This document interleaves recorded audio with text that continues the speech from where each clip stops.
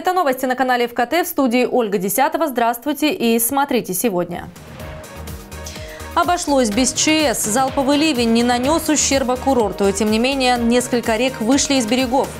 Из-за непогоды в Сочи закрыты 33 водопада. Планово прекращают работу и другие популярные туристические объекты. Кавказский заповедник перешел на зимний режим.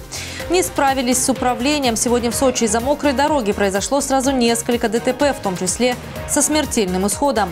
Плюс 133 миллиона. Депутаты городского собрания внесли изменения в бюджет. 17 миллионов выделено на бесплатное двухразовое питание школьников-инвалидов.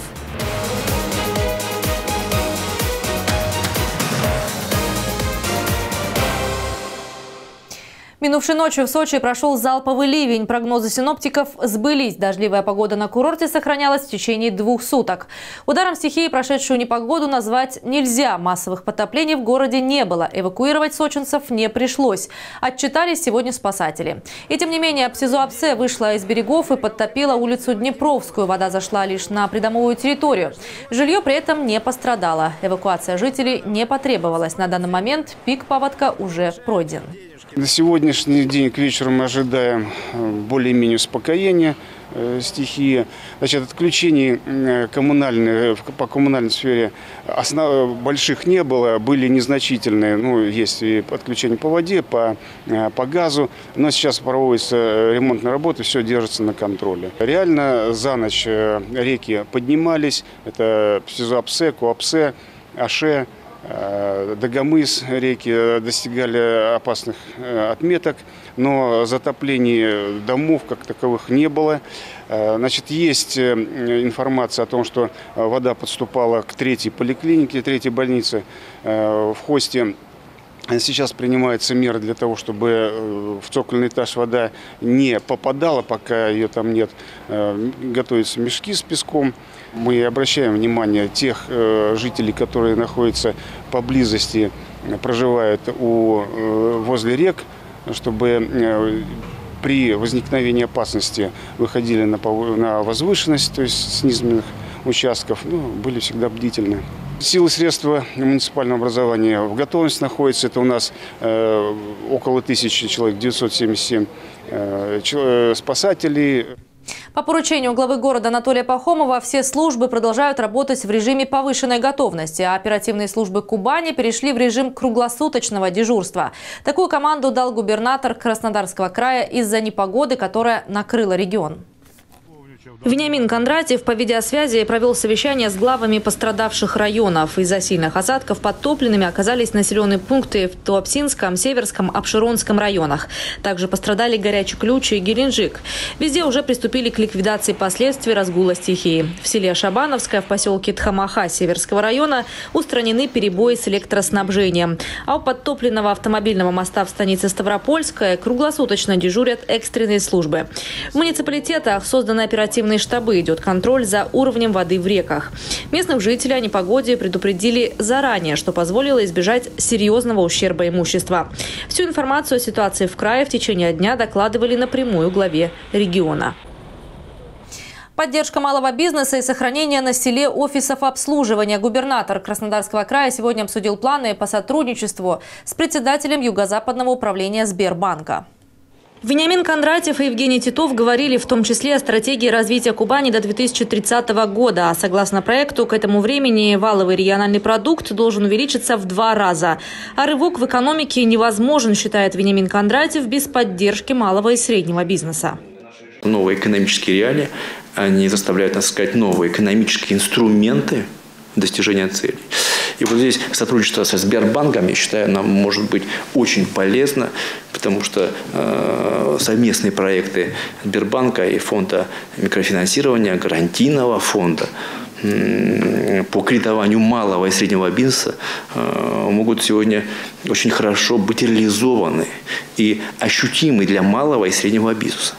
Главное вот найти эти сегодня точки взаимного интереса, чтобы малый и средний бизнес ощущал в том числе э, реальную поддержку. И, Василий Витальевич, нам необходимо создать, может быть, совместную рабочую группу, для того, чтобы мы синхронизировались с Сбербанком, в том числе и по совместному финансированию, может быть, э, малого среднего бизнеса, иных каких-то крупных проектов, и социально значимых для края, и экономически значимых для края. На встрече обсудили ситуацию с закрытием офисов обслуживания Сбербанка в сельской местности. По словам губернатора, клиентские отделения в небольших станицах и хуторах несут социальную нагрузку. При их отсутствии люди практически становятся отрезанными от финансовых операций. Стратегия развития Краснодарского края до 2030 года одобрена в первом чтении. Сегодня этот проект народные избранники обсуждали на 15-й сессии ЗСК. В заседании принял участие губернатор Кубани Вениамин Кондратьев. Согласно документу, в ближайшие 10 лет рост экономики должен увеличиваться каждый год на 4%. Кубанские парламентарии приняли в первом чтении еще один важный финансовый документ – бюджет края. Основная часть денег, как и прежде, будет направлена на социальную сферу. На это выделят почти 70 процентов средств из краевой казны. С подробностями наши коллеги из Краснодара. Стратегия социально-экономического развития региона до 2030 года – документ, который уже сегодня расставляет приоритеты для будущего рывка. В программе никакой абстракции, только конкретные цифры и конкретные предложения. Так, эксперты пришли к мнению, что через 12 лет объемы промышленного производства в регионе увеличатся в два раза, а консолидированный бюджет края превысит 600 миллиардов рублей. И это лишь малая часть тех показателей, которым должна прийти Кубань. Сегодня проект стратегии в первом чтении одобрили депутаты законодательного собрания края. На рассмотрение в парламент документ внес губернатор Вениамин Кондратьев. Мы должны любые изменения в бюджет делать, исходя из стратегии, а не шарахаться из стороны в сторону. А дальше мы вместе с вами будем вырабатывать тактику. Стратегия развивает регион на 7 экономических зон, то есть и на самые приоритеты. И нет смысла заниматься, э, грубо говоря, сельским хозяйством э, в Армавире, если там нет условий для него. Тогда это зона промышленная, и мы максимально господдержку направляем как промышленной зоне коллеги, безусловно, э, не то что амбициозные стоят задачи, а необходимые для того, чтобы Кубань сохранила э, свой экономический рост и благополучие, повышение уровня жизни человека, жителя нашего края, э, его здоровья, качество лечения, рождаемость, качество образования, оказание каких-либо услуг. Коллеги, все это, это правильно. Но за всем этим стоят деньги экономика стоит, экономика. Мы должны не снижать темпы экономического роста, а их наращивать. Стратегия – это экономическая конституция нашего края, нашего региона. И будем жить по этой экономической конституции. А по-другому невозможно консолидироваться, объединиться и двигаться вперед. Стратегия развития региона учитывает выполнение майского указа президента России. Чтобы сделать это в полном объеме, разработан 41 региональный проект. Основная задача поставлена просто – улучшить качество жизни людей. Для этого, конечно, придется сделать серьезный рывок в экономике. Согласно плану, она ежегодно должна показывать рост не менее 4%. Еще одна амбициозная задача – увеличить к 2030 году воловой региональный продукт в два раза. Вы понимаете, что это позволяет власти серьезно вкладываться в развитие качества жизни наших земляков. Это основная цель и задача любого бюджета, на наш взгляд, любых стратегических, индикативных планов развития. Это все должно быть нацелено на улучшение качества жизни наших земляков. Именно опираясь на стратегию развития Кубани, депутаты и чиновники теперь будут формировать и будущее бюджет региона. Краевая казна останется социально ориентированной, заверил губернатор края. Главный финансовый документ на ближайшие три года парламентарии одобрили в первом чтении.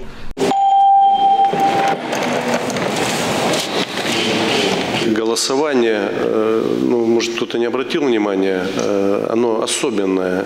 И э, впервые мы, наблюдая за итогом голосования по бюджету, не увидели ни одной позиции против. На мой взгляд, это показатель достаточно качественной подготовки этого документа. В следующем году доходная часть бюджета Кубани должна увеличиться и превысить 272 миллиарда рублей. Для сравнения, только три года назад краевая копилка была меньше примерно в полтора раза. Так, на социальную сферу в будущем году направят почти 70% средств из региональной казны. Более 50 миллиардов рублей пойдут на развитие образования. Уже скоро откроется 8 новых школ и 7 детских садов. Однако останавливаться на этом никто не собирается собирается, заявил Вениамин Кондратьев. В планах масштабные проекты, которые помогут поддержать талантливую молодежь. Уже приступили к проектированию 12 гектаров для современной школы, 12 гектаров, еще подчеркиваю, школа-интернат для талантливых мальчишек и девчонок, которые, которые живут у нас э, в сельской местности, в основном, а может быть в наших даже городах. Но финансовое состояние родителей не позволяет талантливым мальчишкам и девчонкам пробиться в науку. Это будет селекционная школа, по большому счету, для будущего нашего региона. То есть только на конкурсной основе со всех районов края мы будем отбирать туда талантливую молодежь, и там в интернате они будут проживать и в этой школе учиться. И вот здесь мы, мы не тратим деньги, мы их инвестируем инвестируем в будущее, по-настоящему инвестируем. И такую школу построим. Обязательно построим, коллеги. Серьезные средства заложены на развитие системы здравоохранения в Краснодарском крае. В следующем году на эти цели в бюджете предусмотрено 48 миллиардов рублей. Деньги направят на создание офисов врачей общей практики, ремонт поликлиник и замену медицинского оборудования. Кроме этого, начнется строительство двух масштабных объектов. В Краснодаре появится новый корпус детской краевой больницы. Расширение ждет и краевую клиническую больницу имени Очаповского. Региональные власти уже готовят проект целого медицинского кластера, который расположится в кубанской столице. Серьезно Серьезная поддержка ждет еще одну не менее важную отрасль. Объем финансирования агропромышленного комплекса региона составит не менее 7,5 миллиардов рублей. Особое внимание уделено садоводству, овощеводству. Это действительно две такие прорывные э, отрасли. И э, финансирование также заложено туда в объеме большем даже, чем в бюджете 2018 года. Но чтобы развивать сельское хозяйство и другие виды промышленности, необходимо подготовленная для этого инфраструктура. Вениамин Кондратьев предложил создать инвестиционный фонд. Он будет работать на основе государственно-частного партнерства и смог бы аккумулировать средства, необходимые для прокладки инженерных сетей к производственным площадям. Этот вопрос особенно остро стоит при реализации инвестпроектов в муниципалитетах. Мы в этом году создали фонд поддержки промышленности. 500 миллионов рублей это очень правильное дело, потому что нам сегодня нужны и важны все отрасли экономики, даже те, которые, может, мы забыли. И вот э, в следующем году мы в этот фонд добавляем еще 500 миллионов рублей. Это миллиард. Миллиард рублей – это фонд развития промышленности нашего региона. А с учетом федерального фонда 30 на 70, это как минимум 3 миллиарда у нас есть, дай бог, чтобы федеральный фонд не подкачал, для того, чтобы мы раскочегали собственную промышленность. Но дело в том, что муниципалитет никогда в жизни к своим промышленным площадкам не подведет инфраструктуру. Вот э, предложение, коллеги, здесь на ваше уже усмотрение в следующем году мы внесем, создать в структуре бюджета инвестиционный фонд. Мы туда будем откладывать деньги на государство-частное партнерство. Тогда у нас будет возможность брать у инвестора деньги из этого фонда, инфраструктуру к этим промышленным зонам подводить, а не перекладывать их бременем на муниципалитеты. Средства из краевого бюджета выделят и на повышение зарплат бюджетникам. Со следующего года они увеличатся на 5%. На 4% проиндексируют все социальные выплаты и стипендии. На эти цели направят более 4 миллиардов рублей. Яна Бузычкина, Александр Иванченко, Алексей Комаров и Денис Перец, Кубань-24, Краснодар. Ну а депутаты городского собрания Сочи сегодня проголосовали за изменение земельного налога, а также внесли изменения в бюджет города и утвердили расходную статью на бесплатное питание детям с ограниченными возможностями здоровья. Подробности далее. Перед тем, как вопрос об установлении земельного налога в Сочи был внесен в основную повестку, его тщательно изучили в профильных комитетах и на заседании согласительной комиссии. Сохранены все льготы по земельному налогу тем, кто пользовался ими ранее, в том числе людям предпенсионного возраста. А те граждане, которые ведут бизнес на своей частной территории, должны платить по другой ставке.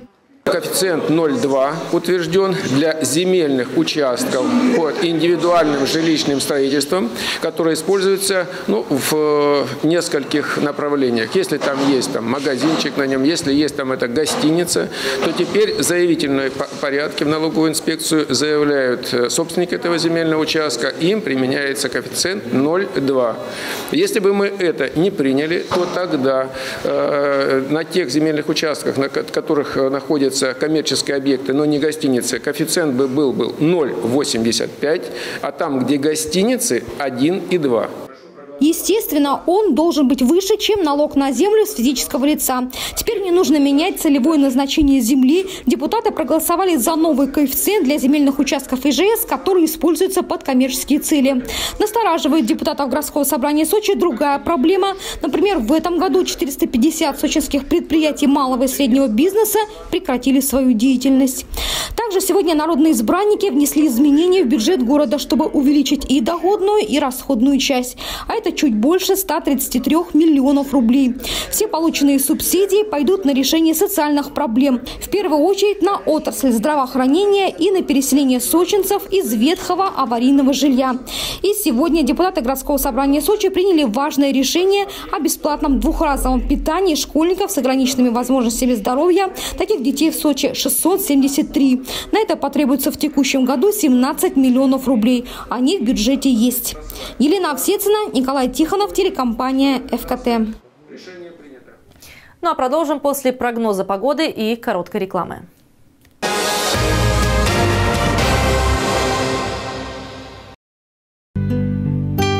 30 ноября в Сочи переменная облачность, временами дождь. Температура воздуха ночью плюс 11, плюс 13. Днем 14-16 градусов выше нуля. Стоматология доктора Куликовского, компьютерная 3D-томография, инновационные технологии, лечение под микроскопом. Команда профессионалов, которой стоит доверять. Стильные аксессуары в салоне-магазине «Куранты», брендовые часы, Швейцария, Япония, Россия. Изящные женские, классические мужские, топовые молодежные. Центральный универмаг напротив ЖД вокзала.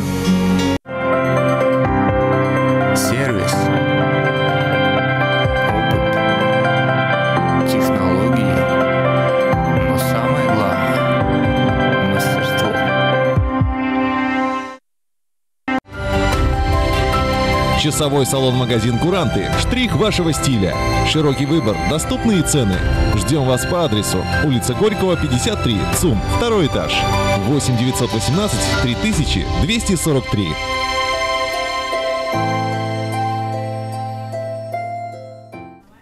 Ну и сегодня же в Сочи состоялось очередное совещание по проблемам дольщиков и обманутых покупателей жилья. Провел заседание глава города Анатолий Пахомов. На совещание власти Сочи и прокуратура пригласили представителей застройщиков, участников долевого строительства, представителей ресурсоснабжающих компаний. В повестке дня сразу несколько вопросов, касающихся проблемных многоэтажек и жилых комплексов, в их числе ЖК «Курортный». Разрешение на строительство, выданное 4 года назад на возведение 53-этажных домов, уже утратило силу. Дома, этажность ряда которых превышена, так и недостроены. Доводить дело до конца будет новый инвестор, компания «Альпика». Сейчас задача предприятия провести геологические изыскания и скорректировать проект и разрешение на строительство. Учитывая то, что э, участок оползневой, э, нужно сделать геологические э, обследования, это займет определенное время, к нему нам нужно привязать проект. Все вот это где-то сегодня подписано уже соглашение, мы имеем право туда заходить. 1 февраля мы выходим на разрешение на строительство. Я правильно понимаю? Да. Это вы заверяете, так? Мы готовы были и дали согласие на то, что он корректирует и как считает так нужным, так и делает проект, убирая из-под э, линий высоковольтных там то, что настроили, там еще больше сносить приходится, да? Вот. А мы э, де-факто его утверждаем, но в рамках законодательства, которое действует на сегодняшний день. Добавлю, что в ЖК «Курорт» на сегодня 434 дольщика. Также в ходе совещания обсудили положение дел еще в ряде проблемных многоквартирных домов. Это компания «Ида», «Наш дом Сочи» и «Салют Инвест». Каждому из объектов власти города помогают найти взаимопонимание с ресурсоснабжающими организациями и как можно быстрее заключать договоры на получение тех условий. И к другим новостям. Сегодня в городе произошло сразу несколько ДТП, одно из них со смертельным исходом. В Лазаревке в районе поселка Чмитакваджи водитель ВАЗа съехал с проезжей части дороги, что повлекло за собой опрокидывание транспортного средства. В результате водитель и пассажирка скончались на месте. Причины дорожно-транспортного происшествия выясняются. И тем не менее госавтоинспекция города Сочи напоминает о необходимости соблюдения скоростного режима. Еще одна авария сегодня утром произошла с участием четырех автомобилей на трассе А Адлер-Сочи в районе Красного Штурма. На дороге столкнулись два легковых автомобиля и минивэн. Одна из машин врезалась в рейсовый автобус. На месте происшествия работали сотрудники МЧС, пожарные и полиция. Прибыли автомобили скорой помощи. По предварительным данным, в ДТП есть пострадавшие. По словам очевидцев, столкновение произошло из-за заноса на мокрой дороге. В сторону Сочи утром образовалась довольно большая пробка. Но сегодня же утром в Адлерском районе ДТП произошло по дороге в село Ахштырь. «Ладу» занесло, автомобиль врезался в бетонное ограждение и скатился в кювет. Причина все та же – не справился с управлением на мокрой дороге. По словам очевидцев, пострадали водитель и пассажир. Их доставили в больницу. Ну и продолжаем выпуск. В Сочи пройдет более 100 мероприятий для инвалидов. 1 декабря на курорте стартует декада для людей с особыми потребностями. Она пройдет во всех районных домах культуры, в селах и в центральной части города. В ходе мероприятий будут представлены достижения людей с инвалидностью. Отмечу, что в Сочи их проживает более 36 тысяч. И среди них есть настоящие герои. Их будут чествовать 4 декабря на торжественном приеме главы города. Среди тех, кого отметят, сочинские художницы Светлана Прокопенко и Маргарита Кульян, которая стала лауреатом премии губернатора Краснодарского края в номинации «Творческие люди с инвалидностью».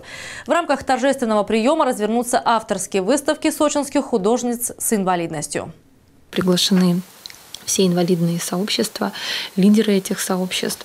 А, это и люди с инвалидностью по слуху, по зрению, инвалиды-колясочники, родители, которые воспитывают детей с инвалидностью. Мы проводим не только торжественные мероприятия, у нас пройдет очень серьезный круглый стол по ранней помощи, раннему выявлению а, проблем у детей с ментальной инвалидностью. Да, это вещи, которые нам важно диагностировать на раннем этапе развития ребенка. Главными спикерами будут, конечно, представители органов органов здравоохранения.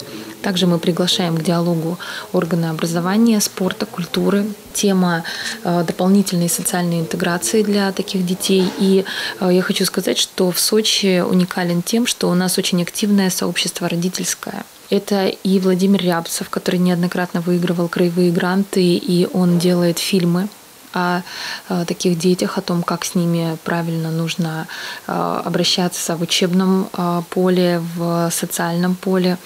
Это Виктор Шубин с неигрушечным театром и тоже это обладатели гранта президента.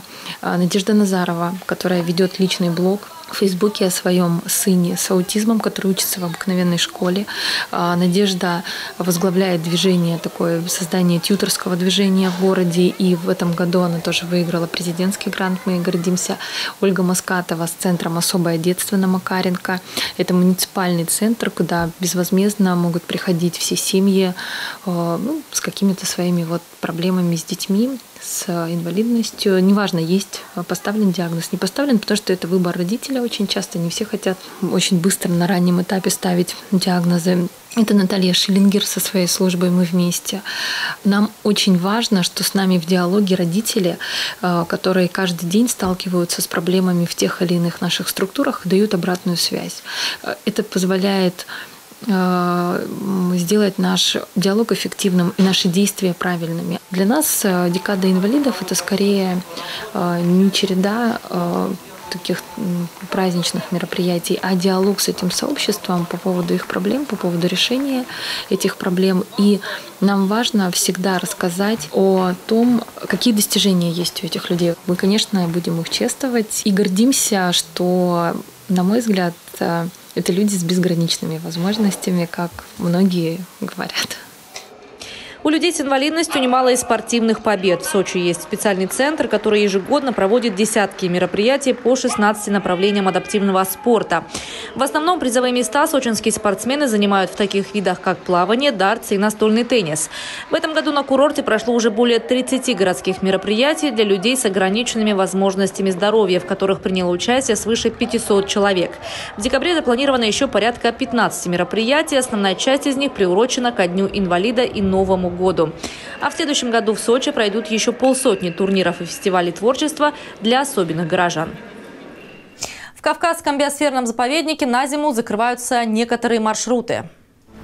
Больше не будут доступны популярные эколого-туристические маршруты через приют водопадный к Черному морю, через приют Фишт к Черному морю и частично вокруг горы Фишт. К слову, в этом году там побывало более 47 тысяч человек. В целом, как только установится стабильный снежный покров и хорошая погода, в Кавказском заповеднике откроются зимние маршруты. Сотрудники заповедника готовят программу для тех, кто любит путешествия в горах зимой. Это скитур на Обзерпинский карниз, Аишха и Энгельмановы поляны, походы на снегоходах на плато Лаганаки.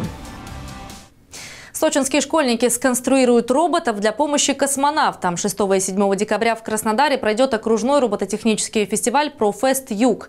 В нем примут участие более 10 команд Сочинской станции юных техников. Самым маленьким участникам 5 лет, старшим 15. Команды будут соревноваться в создании роботов по пяти направлениям. Все роботы смогут двигаться по специальным площадкам фестиваля и выполнять различные действия. Юные участники в этом году будут работать над проблемами улучшения жизни космонавтов, так как тема сезона 2019 на орбите. Дети сконструируют роботов, которые помогут сохранить чистоту космического пространства, облегчить жизнь космонавтов, долгое время находящихся в невесомости. Команды, занявшие на фестивале призовые места, традиционно выступят на всероссийских соревнованиях по робототехнике. Третий год в рамках направления «Робокарусель» школьники смогут принять участие в заключительном этапе Всероссийской Олимпиады по физике. Победителям и призерам Олимпиады предоставляются льготы при поступлении в вузы. Ну и на этом наш выпуск завершен. Мне остается добавить, что все новости уже на нашем сайте fkt.com. Смотрите нас также в социальных сетях Facebook, Instagram, Одноклассники, Telegram в группе ФКТ ВКонтакте. Ну а в студии была Ольга Десятова. Всего доброго и до встречи в эфире. Благодарим за создание имиджа ведущей студию красоты Мика Бьюти и лично ее основателя Милану Гаспарову. Студия красоты Мика Бьюти – макияж, прически, броу-бар, курсы для бровистов и обучение визажу. Одежда ведущей предоставлена мультибрендовым магазином российских производителей «Сезоны». Это новые тенденции, качественные материалы и безусловный комфорт. Найдите свой стиль по адресу улица Парковая, 17.